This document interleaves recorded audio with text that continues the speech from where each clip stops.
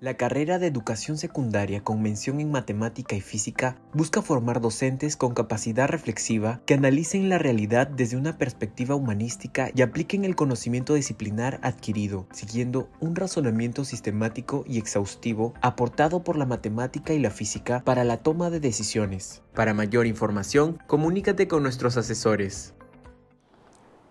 Un cordial saludo a todos nuestros seguidores del canal Capellán Digital en Facebook y en YouTube. Bienvenidos a nuestra primera transmisión en vivo del año. Mi nombre es Ítalo Leturia y es un honor poder compartir con ustedes la primera ponencia de esta temporada. Vamos a presentarles Ruta de la Investigación Cualitativa y para ello tenemos a un invitado muy especial. Me acompaña en la conducción Ana Marquina. ¿Cómo estás, Anita? Muy buenas tardes, Ítalo. Bienvenidos a todos los que se están conectando a esta transmisión en vivo. El día de hoy tenemos a un invitado de lujo. Él es el magíster William Rojas Gutiérrez y a continuación voy a leer su hoja de vida. Él es ponente internacional reconocido porque ha participado en diferentes universidades a nivel internacional. Ha participado en la Universidad Miguel de Cervantes de Chile, asimismo en la Universidad Autónoma Graviel René Moreno de Bolivia, en la Universidad El Centro de Bajío de México, en la Universidad eh, Técnica Luis Vargas Torres de Esmeralda de Ecuador, en la Universidad Tecnológico de Etiopía de Colombia y en el Tecnológico Superior de Purísima del Rincón Guanajuato, en México. Ya está con nosotros eh, nuestro invitado del día de hoy, lo vamos a dar la cordial bienvenida. Muy buenas tardes, gracias por aceptar la invitación al canal Capellán Digital. Ya es la cuarta vez, me parece, que ya nos está acompañando nuevamente y queremos agradecerlo también porque eh, siempre está preocupado por la educación y brindarles también esa valiosa información a todos los usuarios, estudiantes y docentes que nos acompañan en nuestra transmisión en vivo. Muy buenas tardes, Magíster, bienvenido. Bien, buenas tardes. Eh, gracias también por la invitación y, y bueno, dar inicio siempre a un nuevo año con una invitación creo que es grato para todos. Que este año sea de bien y de mucha formación para todos. Gracias. Gracias a usted por estar aquí con nosotros en el canal. Es un honor para nosotros tener a un invitado con tan amplia trayectoria para poder iniciar esta temporada de las ponencias que tenemos para este año 2022. Anita. Bien, doctor, vamos a recordarles a todos nuestros usuarios que nos están acompañando. Sabemos que tenemos invitados internacionales, también sus estudiantes que, que, les están siguiendo a través de nuestras diferentes plataformas digitales. Hacerles recordar que si tienen alguna duda, alguna pregunta, pueden realizarlo en la caja de comentarios que al final el magíster va a estar solucionando a cada una de ellas. Bien, sin más, vamos a darle inicio, vamos a ceder el uso de la palabra al magíster. Ok, entonces eh, damos inicio a este encuentro y lo vamos a, a, dar dando gracias a Dios por la vida que nos da mediante la oración del Padre nuestro, en el nombre del Padre y del Hijo y del Espíritu Santo. Amén. Agradecemos a Dios por el día, por el despertar y por este momento de coloquio y de compartir. Que el Señor sea nuestra guía en cada momento y que sepamos que cada día es una bendición. Y como es una bendición, vamos a iniciar este encuentro en este momento, en el nombre del Padre y del Hijo y del Espíritu Santo. Amén. Bien, eh, les comparto, tenemos hoy día eh, nuestro encuentro. Eh, ¿Me confirman si se ve, por favor, lo que estoy proyectando? Sí. Ah, ok, y entonces, tenemos nosotros eh, desarrollando, no solamente mi persona, tenemos nosotros a varios compañeros, estudiantes y todo personal que se dedica a la enseñanza y la investigación a profundizar un poco más en la investigación cualitativa. No es tanto que esté de moda, sino que se le está dando la valoración que debe tener, tan igual que el enfoque cuantitativo, claro. En este caso vamos a ver de lo que es la caracterización y la codificación de datos de una manera concisa por el tiempo que tenemos, pero ese es el punto de partida para que cada uno pueda continuar. Siempre se, se le motiva a alguien, se le deja con el sabor en la boca de lo que te gusta y luego tú dices, por aquí va mi camino. Empezamos con un pensamiento del doctor Hernández Sampieri, ¿ya? un planteamiento cualitativo es como ingresar un laberinto. Sabemos dónde comenzamos, pero no dónde habremos de terminar. Y eso nos hace pensar a nosotros también eh, que en, dedicarse ¿no? a hacer una investigación bajo este enfoque amerita eh, formación. ¿Ya? Eh, lo que compartamos ahora es fruto justamente de la formación y estos momentos hacen que uno se siga formando. Sí, entonces agradezco porque no solamente es el que habla el que lo sabe, no, no, no. Uno escucha y se reconstruye y nos vamos construyendo en ese caminar. Entonces, en ese sentido, nosotros vamos a, tenemos eh, una visión general, ustedes ya conocen eh, este esquema, se lo he presentado anteriormente, eh, le pertenece al doctor Hernández Sampieri, es un esquema general de lo que es la investigación.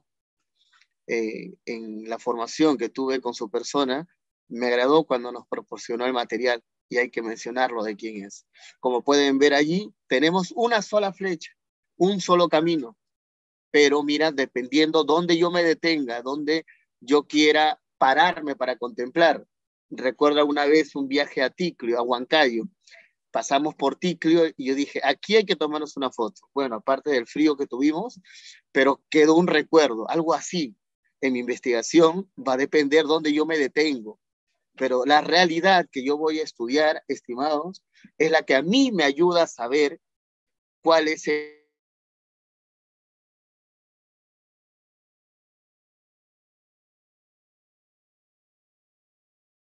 estudios que tienen que ver con análisis, estudios de caso, estoy leyendo en la parte superior, tenemos también historia de vida, hermenéutica, trabajo antropológico, fenomenológico.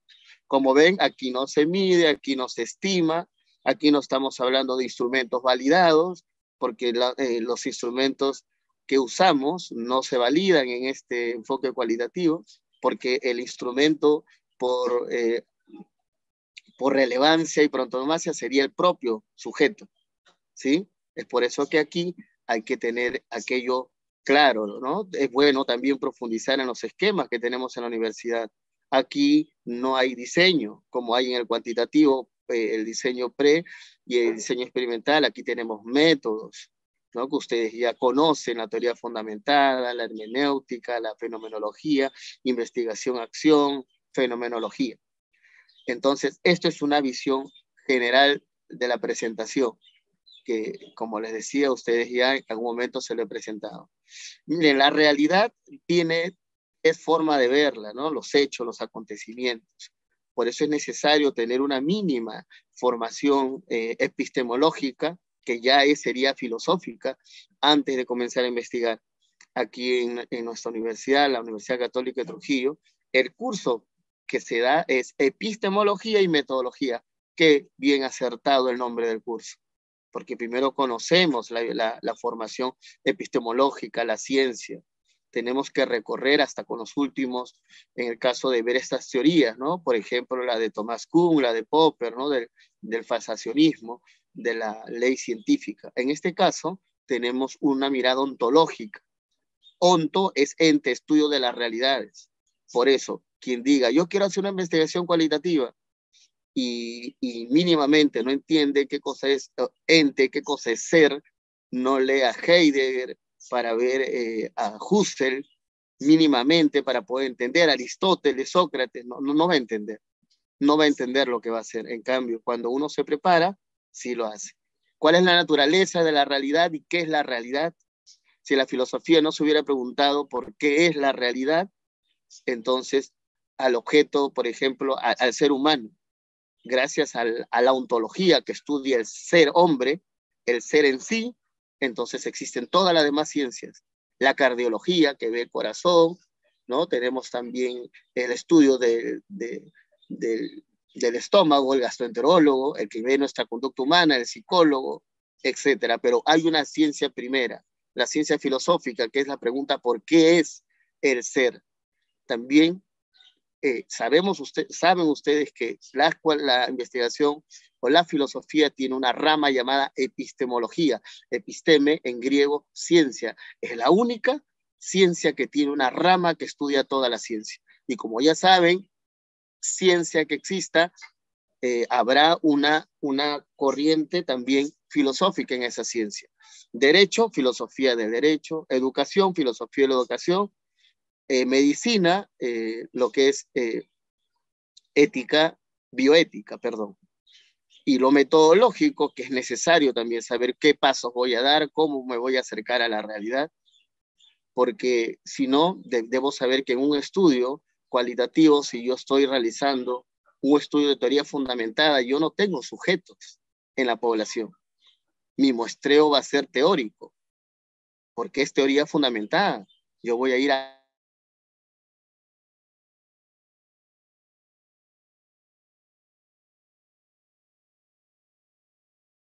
si alguien quiere hacer una, una investigación cualitativa y estamos revisando el plan, dice que es cualitativa y pone diseño no experimental, correlacional. No pues, no, no pertenece al enfoque. Entonces, si no nos ubicamos, va a haber dificultad. ¿no? Eh, va a depender de las perspectivas, ¿no? Por eso es bueno siempre eh, mirar el objeto de estudio y decir, a ver, yo voy a estudiar el cuadrado o, o el círculo. Va a ser mi enfoque cuantitativo, cualitativo, también mixto, y luego ver el perfil, ¿no? De la persona que me va a acompañar, porque eso también es necesario. A mí me preguntan, profesor mixto, no, todavía no. Yo no puedo acompañar ningún mixto porque estoy en formación aquello. Lo tengo la formación, pero una cosa es saber cómo se canta y otra cosa es cantar, ¿no? Algo así. Entonces todavía no, no doy ese paso ahí. Pero le digo, pero si tú nunca has hecho tesis, ¿por qué te mandas a algo mixto? Vamos por partes, ¿no? Si es para pregrado, ¿no? haz un correlacional, haz un descriptivo, pero bueno, eh, es un cuadrado, eso es un círculo, no vamos a quedarnos en la discusión, ni en la tesis, ni en la antítesis, vamos a la síntesis. Algo es, y qué es, desde dónde lo estudio, el sujeto me lo dice. Si yo quiero estudiar el comportamiento de personas, el comportamiento no se puede estudiar cuantitativamente. Si yo quiero estudiar las costumbres, las tradiciones, no lo puedo estudiar cuantitativamente. Ahora, si mi estudio es sobre el compromiso de esas personas en una organización y yo quiero saber el nivel del compromiso, ahí sí, nivel, nivel, ahí está la palabra cuantitativo. Entonces nosotros, esto, antes de poderle hablar, era necesario hacer el recuerdo de aquello eh, que tienen en común estas dos miradas, que obviamente también observa, hay evaluación, se establece ideas, una comprueba hipótesis, la otra llega y al final puede construir esas hipótesis. Mm, no olvidemos también que para poder ver cómo se va a hacer este, este, estos códigos, que en un momento lo verán mejor, hay que saber también y tener en mente los, paradigma. En el caso del cuantitativo, el paradigma positivista. En el caso del cualitativo, el interpretativo. Y en el caso del enfoque mixto, que sería el pragmatismo, que parte del problema. Como ven, los paradigmas, ah, puede haber otra propuesta, ¿no? Es claro, ¿no? Pero es necesario tenerlo presente antes de, para entender todo el objeto de estudio. Eh, Dicen a veces que la investigación cualitativa no aporta, eso ya está superado, porque hasta una piedra o un grano de arena tiene una razón de ser. Así que por aquí no me voy a detener porque esto también ha quedado claro en un compartir anterior, que sí, que sí aporta, que es mentira que digan que la investigación cualitativa solo describe y no explica. Posible, ¿no?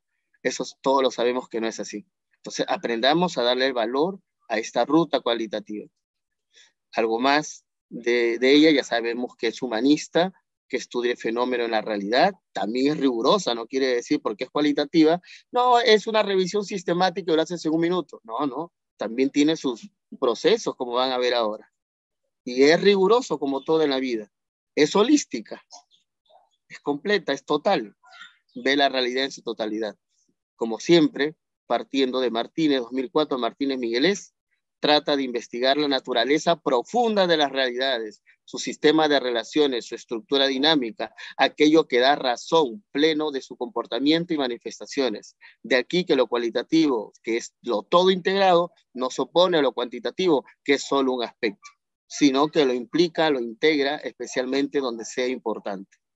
Entonces, aquí ya comenzamos, era la introducción a mirar el tema de hoy, así de manera ya objetiva y directa.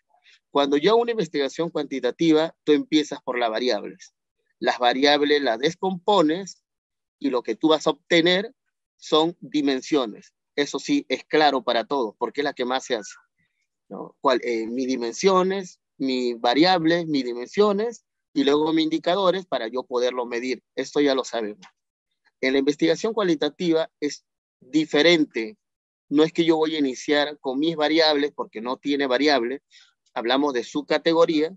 Luego tengo que pasar yo a, a, lo que es, eh, perdón, empiezo por códigos, que en este momento le explico, paso a subcategorías y luego paso a categorías. Desde el primer momento en la investigación cualitativa yo ya puedo recoger y debo recoger información. En cambio, en una cuantitativa, tú no puedes aplicar tu encuesta hasta que hagas todo tu marco teórico, te hayan aprobado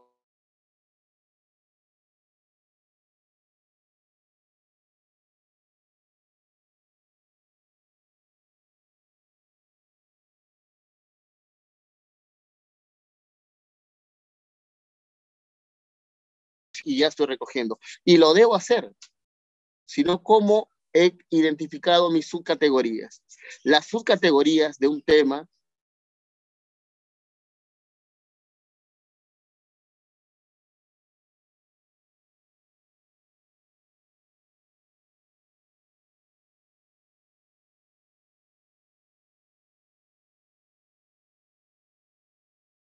momento de la investigación.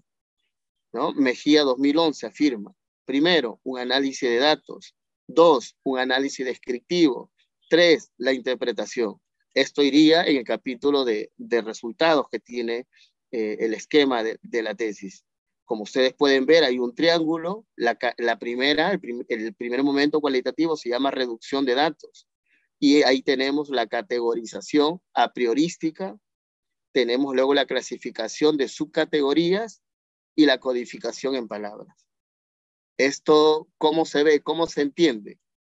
Si yo estoy eh, enseñando, estudiando un fenómeno del, del comportamiento de estudiantes inclusivos en una escuela, yo no voy a ir a la teoría y decir qué cosa es educación inclusiva y sacar mis subcategorías, porque estoy haciendo un camino deductivo.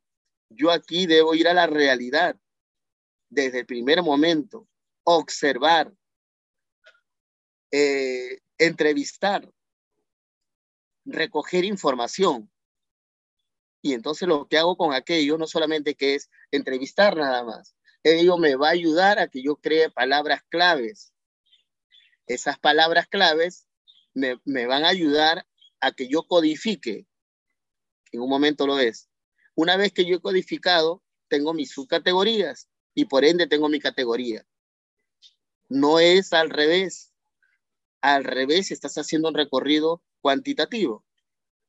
Miren, tenemos aquí la realidad, dice código a priori.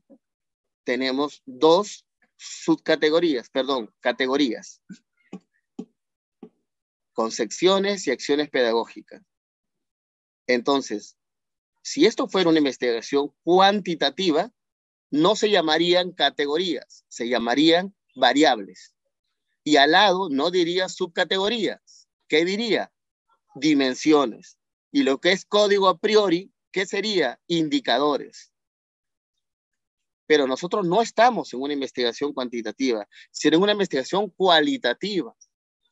Entonces, cuando uno tiene que saber que tengo que pensar inductivamente, primero ir al campo, ir a la realidad. Allí en la realidad yo tengo que observar, allí en la realidad yo tengo que recoger información y ya desde allí hacer una triangulación de lo que voy recogiendo. Algunos creen que solamente es entrevistando, no, también es desde la literatura, revisión literaria, Luego también puede ser entrevistando a los sujetos, a los participantes y observando. No es solamente, y lo tengo que hacer, porque si no, ¿cómo empiezo mi investigación? No me imagino, sin tener sus categorías, cómo ha hecho sus objetivos específicos. No, no, no, primero es en la realidad. Aclaro, en el cuantitativo nadie te exige al principio, al principio te piden tu matriz o no. Dame tu matriz, profesor, acá está mi variable, mi dimensión, mis indicadores, el autor tal sustenta esta variable y todos felices.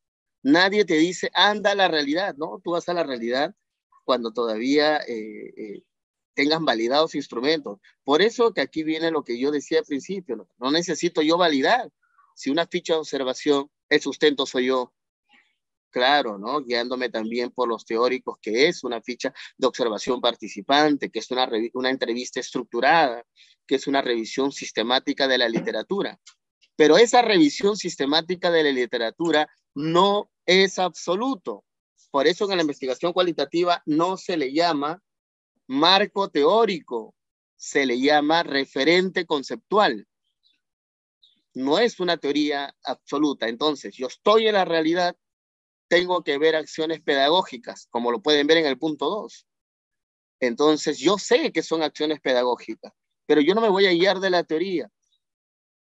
Entonces, yo mirando la realidad, observando la realidad, yo tengo que buscar eh, estos códigos a través de palabras claves.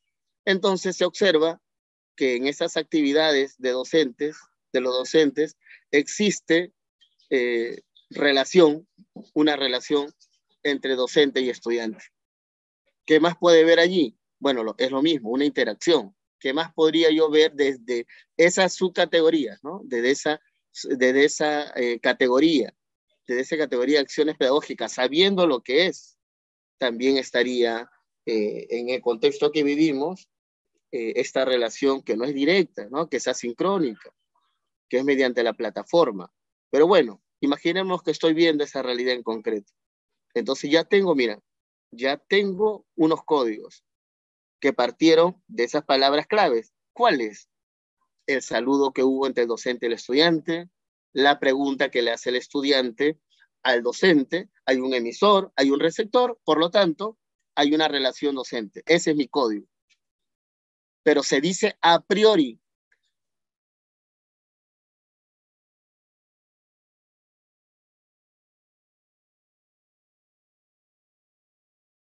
su categoría, entonces eh, allí yo tengo el concepto ya de la literatura. ¿Cómo se le llama a esa relación docente-estudiante? Proceso de enseñanza-aprendizaje en el 2.2. ¿Ven? Entonces, a priori, porque estos códigos han salido de la literatura, pero también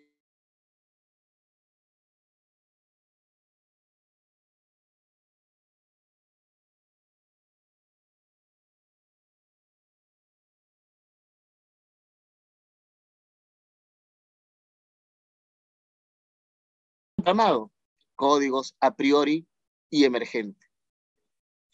Estos códigos pasan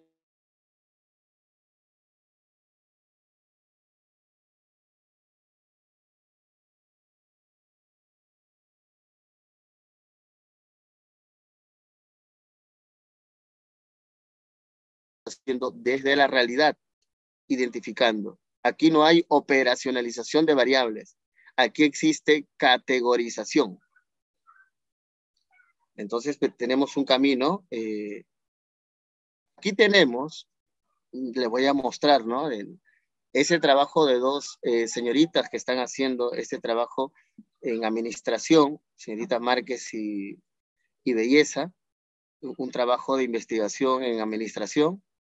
Justamente yo les decía que por favor me permitan mostrar este material. Acá, acá se ve mejor.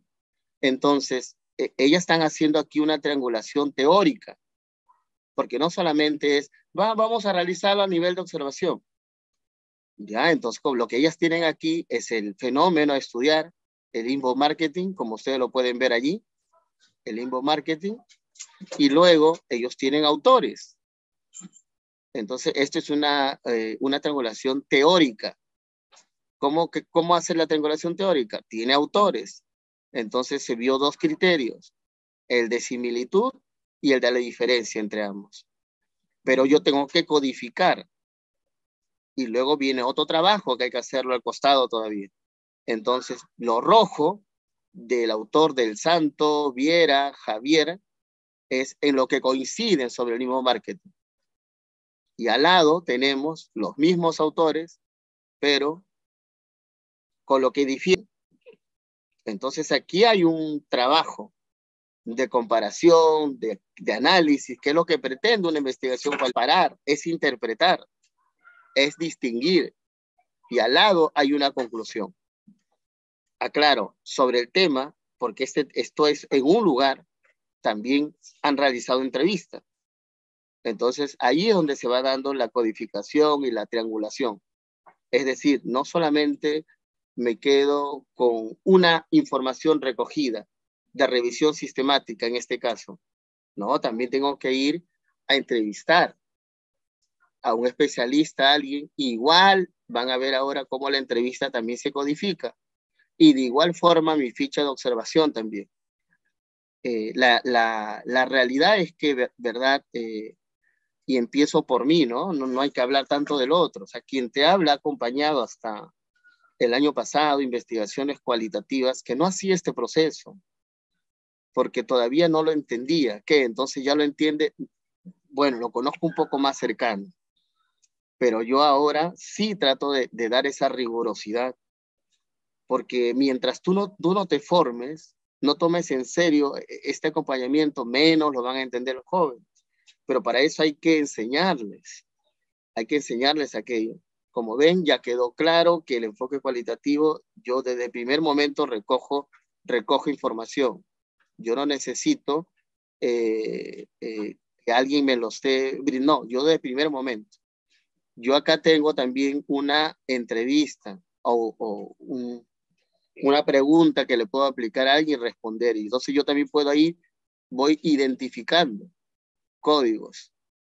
Si la persona me dice, no, yo he notado, soy eh, habitante de hace años del norte de Santander, etcétera, en lo que me responda de lo que yo haya preguntado, entonces yo le voy dando un color, como lo ven allí, y al costado debería colocarle esas palabras claves, dependiendo de lo que me diga, de, esa, de ese código que yo le pongo. ¿Ven? Y esos códigos que vienen al costado me van a servir para que luego yo pueda, eh, ya estoy aquí codificando, y luego yo ya pueda realizar mi categorización, que era el ejemplo anterior, ¿no? Si aquí yo estoy poniendo las palabras claves, entonces eh, al lado voy colocándole, ¿no? Si pone mi percepción es que la migración eh, tal tiene esta posición por los habitantes, entonces yo le pongo acostado, dependiendo del tema que yo también estoy recogiendo, ¿no? Eh, eh, concepto de la inmigración y, que alguien cuenta allí, ¿no? Y mi experiencia es negativa, ¿no? No encuentro un apoyo, una aceptación. Entonces acostado podré colocar, ¿no? Experiencias negativas. Entonces, como ven, hay un trabajo si bien es cierto, existe eh, un, software para esto llamado eh, que te puede realizar este trabajo, estamos hablando del Atlasti, eso no quiere decir que él me va a hacer todos los trabajos. No, él solamente se va a informar de lo que, de lo que tú le alimentes, pero eres tú quien haces el trabajo. Tú que tienes que interpretar, saber cómo lo voy codificando, y saber también cómo voy, voy a recoger la información. Ya tú tienes toda la información y luego, ¿qué haces con la información? No es como en el cuantitativo. Yo tengo toda la información, hacen su tabla de, eh, en Excel, luego se van al SPS, ven el tema de, del método para demostrar, ya sea por piso, por Spearman u otro método, pero aquí, ¿qué haces? Entonces tienes que saber que primero se empieza por las categorías priorísticas. Este ejercicio que parte de la realidad. Luego tengo que hacer una lectura temática. Y allí podría ser también esta codificación abierta relacionada con el muestreo, eh, lo que te, he mostrado hace un momento, con lo que sería la, la codificación teórica, ¿no? Con los autores. Luego viene también una lectura relacional de todo para luego ir depurando y llegar. Esto tiene un proceso, ¿no? Está claro que en este momento mm, no es que ya lo acabemos, pero tienes ideas. yo lo que quiero que te quedes con ideas puntuales, que el caminar es diferente, no es igual. Y entonces, si no sabemos aquello, lo que debemos hacer es buscar, buscar formarnos para poder eh, ingresar a aquello. Estos son los cuatro momentos que propone, eh, solo mira el, autor Mejía, que se lo recomiendo, son los cuatro, eh, los cuatro momentos del, del primero nada más. hemos dicho que pasamos por lo que es eh, codificación de datos, descripción de datos e interpretación. Solo la codificación de datos tiene cuatro momentos. Edición de los datos cualitativos, categorización y codificación. ¿No? Cuando pones al lado, ¿no? cuando vas dándole sus, sus categorías a través de estas palabras claves para llegar a las subcategorías y luego tener la categoría como tal. Luego viene el registro de datos cualitativos, la entrevista, eh, una ficha de observación, puede ser participante o no participante. Estos registros de datos tienen que ser evidenciados. Tenemos nosotros ahora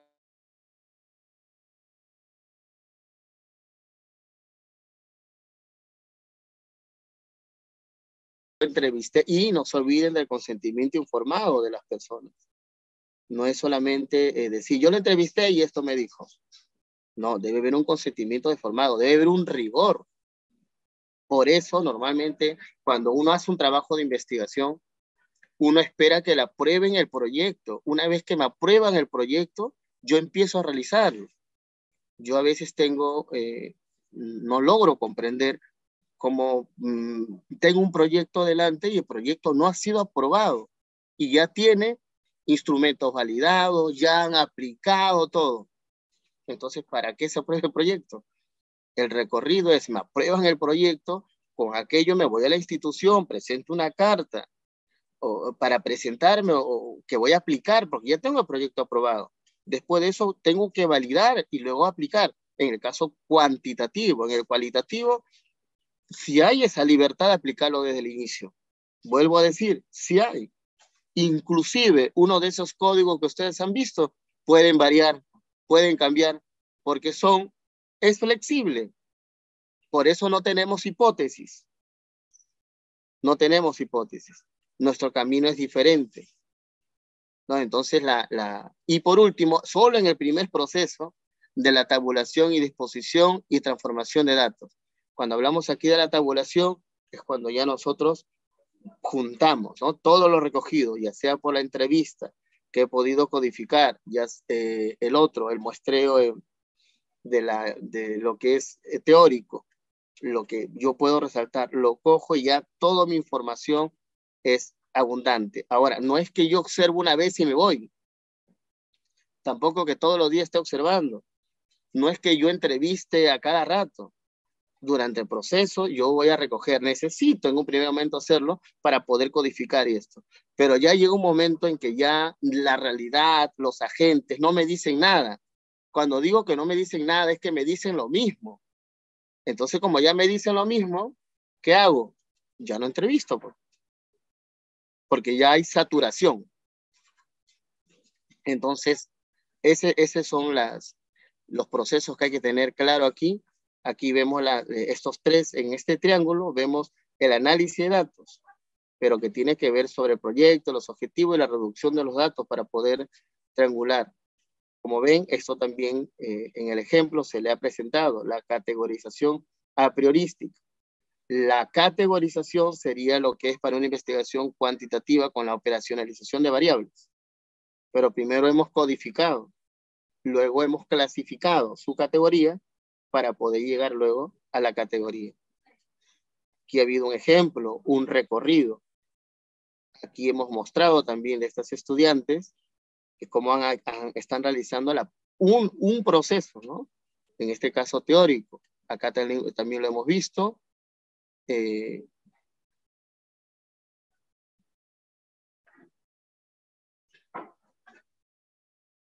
y también es importante algo creo que en todo este proceso eh, debemos tener claro que el implantamiento del problema en una investigación cualitativa, pues cuantitativa, está mal planteado el proceso, lo demás también cae por consecuencia. En una investigación cualitativa también se parte de un problema, pero no siempre. Porque entonces yo podría tener una situación buena, pero yo la quiero mantener. O sea, no, no necesariamente siempre se parte de un problema. Si yo quiero saber cómo está la producción eh, de una universidad que ya tiene índices bibliométrico de producción científica elevada. Eso es algo bueno, pero yo quisiera eh, saber qué se hizo de fondo. Un estudio sobre qué pasó, qué estímulo estuvieron los docentes, los estudiantes, con qué finalidad, para mantenerlo. Ahí viene el, tema de, que no necesariamente una investigación cualitativa parto de una realidad problemática. Pero sí, sí, el planteamiento está, ¿no? Y creo que las universidades que manejan estos esquemas tienen procesos para cada uno, ¿no? Con su guía bien detallado, para un enfoque, para el otro enfoque. Porque si solamente presentan un, uno solo, no, pues la idea es eh, tener esta presentación, como yo le estaba diciendo, personalizada, que aquí tenemos estos tres momentos que yo le hablo de la reducción de datos cualitativos. Yo más me he centrado solo en este primer momento. Todo lo que he hablado es el punto uno nada más. Porque ahí amerita, pero eso no quiere decir que luego se siga. Pero tenemos también luego un análisis descriptivo de aquello y tenemos una interpretación. Yo les pido, por favor, que cuando ingresen al ámbito de,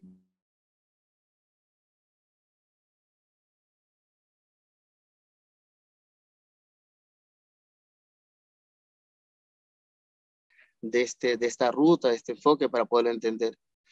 No hay otra manera, ¿no? La única manera es, eh, ¿verdad?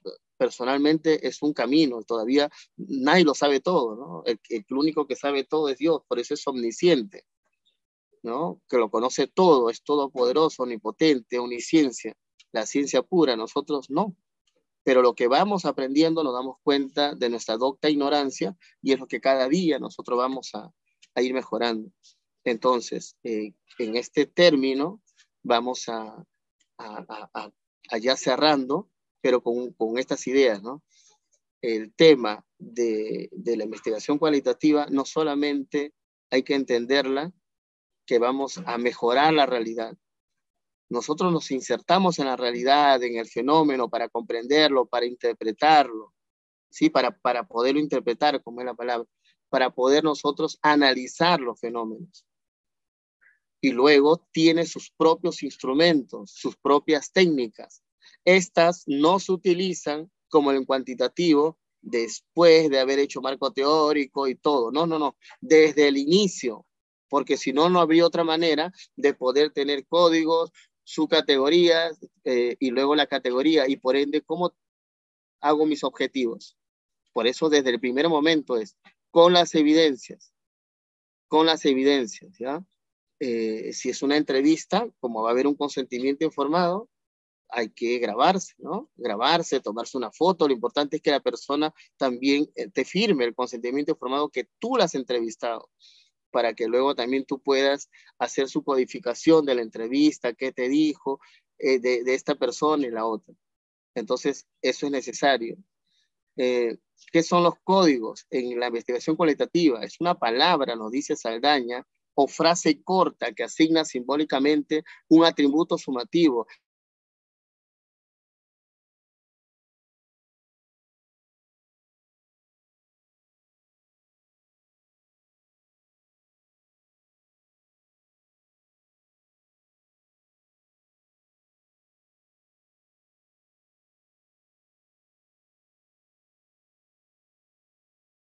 A veces llega al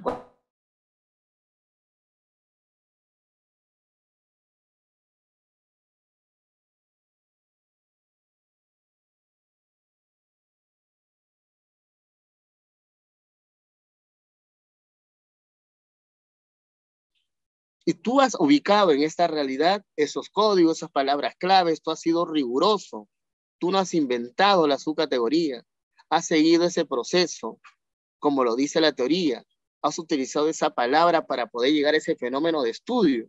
Entonces, ¿por qué te tendrían que observar? Seguro con, con lo que estás realizando. Ah, eso sí, pero tienes que saber que no es lo mismo hacer teoría fundamentada, hermenéutico, fenomenología, etnográfico, etnografía, cada uno tiene un proceder diferente. Si es una teoría fundamentada, va a tener muestreo teórico. Si es fenomenológico, también me, eh, va a tener un, proceso, pero, pero aún así Todos hacen codificación y categorización. Entonces, que esto, que esto les, les quede claro en estos minutos que, que me han brindado para que nosotros tenemos tipos de categorías previas, a priorísticas y deductivas. Son las que vienen de la teoría. Y las emergentes son las que brotan en este acercamiento de la realidad. ¿Cómo entender a las categorías? El lenguaje no es natural, es aquel que nos separa de eso que se considera natural. Si fuera natural, todos entenderíamos lo mismo. ¿Ven? No necesariamente un, código o una subcategoría va a ser igual que la otra, porque cada persona que se acerca es el instrumento por, por excelencia de la investigación. Entonces, eh, es la idea de este encuentro. Eh, yo agradecido por haber aportado ¿no? este, este paso, ¿no? Esta, esta mano que alguien te da para que tú continúes. Recuerda hacer tu trabajo de investigación. Debemos promover una cultura investigativa. No es mandarlo a hacer, no es, recuerda que tú tienes que sustentar tu trabajo. Y ahora, en los estándares de calidad y de exigencia, docente, estudiantes y cualquier profesional tiene que debemos tener producción. Claro, y algunos que ya pues lo han logrado, están en lo máximo que existe de, escritura, que es Scopus, bien por ellos, pero nosotros vamos lento, pero ahí vamos, ahí vamos, ¿no? empezando por capítulo de libro, otros estarán en, en, en cielo, Latindex, van avanzando, lo importante es que lo hagas. Si no, no hay un testimonio, es como alguien que diga, yo tengo una casa de tres pisos y luego no sustenta cómo lo hizo. ¿No? Estas personas que lo han logrado, qué bueno, porque realmente debe, deben ser un, una sapienza para acompañar a sus jóvenes, ¿no ves que son hasta, hasta ya son docentes reconocidos científicamente? Nosotros debemos saber, como lo digo siempre, no es una competencia, quién llega primero. No, sé feliz haciendo aquello. Y ayuda y fórmate, haz tu trabajo, haz tu trabajo, siéntete investigador, porque no es hacer la investigación, llego a mi título y ya lo dejo. Como administrador tienes que seguir investigando, el médico investiga, todo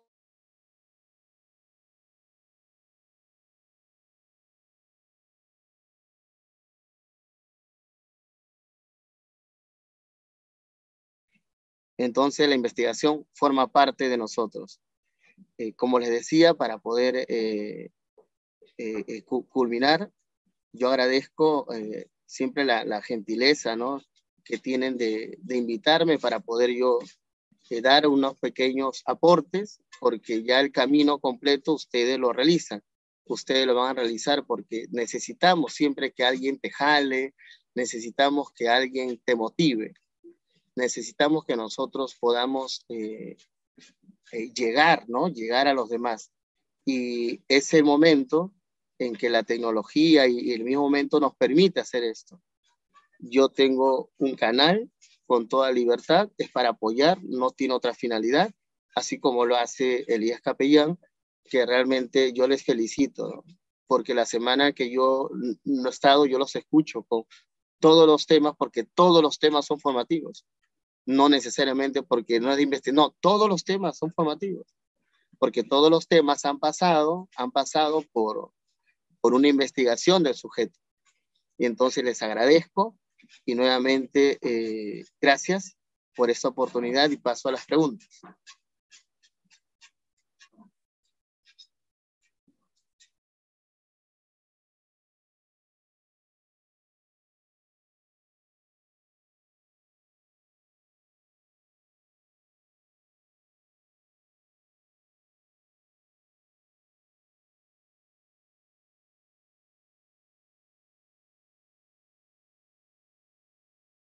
De enfoque cualitativo se encuentra estigmatizada como difícil en comparación con el enfoque cuantitativo. ¿Cuál sería su respuesta, Magíster? Bueno, interesante la pregunta. Eh, nosotros los seres humanos normalmente nos movemos a veces con estereotipos. Nada es fácil en la vida. Si todo fuera fácil, no tendría sentido, ¿no? Ambos, el cualitativo o el cuantitativo, necesitan su esfuerzo y su rigor. solo no se hace el trabajo. Pero sí, hay personas que creen, yo he escuchado lo al revés, que creen que lo cualitativo es sencillo, en una noche lo haces. Como hay personas que dicen, no, yo me, no hago cuantitativo porque cuantitativo tiene estadística. Entonces, como lo mío no es la matemática, yo me voy a lo cualitativo.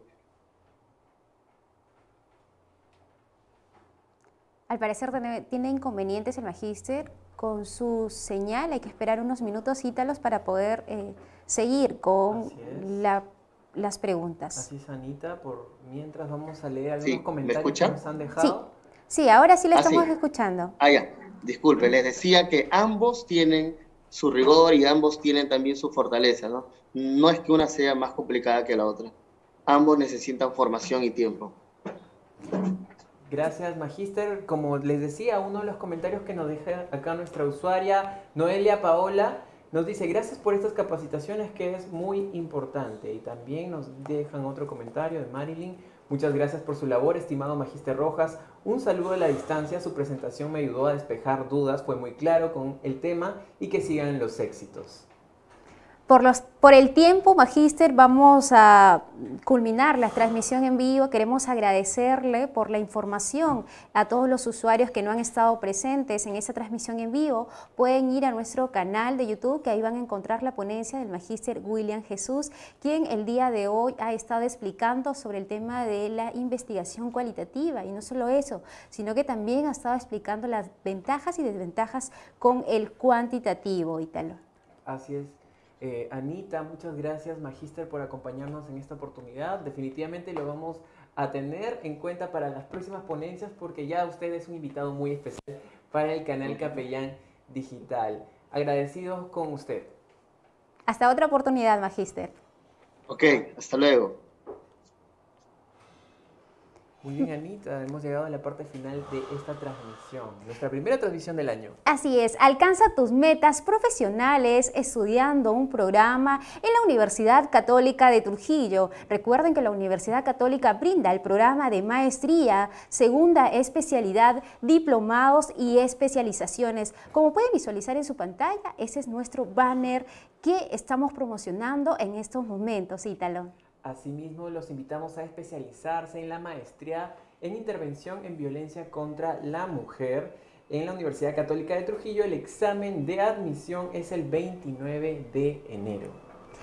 No se olviden de seguirnos a través de nuestras diferentes plataformas digitales. Nos ubican en Instagram, en Facebook como Elías Capellán y también en LinkedIn como Elías Capellán. Así es, Anita, y también en el canal de YouTube ustedes se pueden suscribir como Capellán Digital van a poder encontrar ahí todos los videos de las ponencias, las transmisiones en vivo, para que puedan seguir ilustrándose con los temas que tenemos en el canal. Nos vamos despidiendo. Mi nombre es Italo Leturia. Fue un gusto estar con ustedes. Y mi nombre es Ana Marquina. Nos vemos a la próxima oportunidad. Hola, soy Iván Ramírez, estudiante de la carrera semipresencial de Administración en la Universidad Católica de Trujillo. Y hoy voy a contarle Hola, soy Iván Ramírez, estudiante de la carrera semipresencial de Administración en la Universidad Católica de Trujillo. Y hoy voy a contarle mi experiencia en la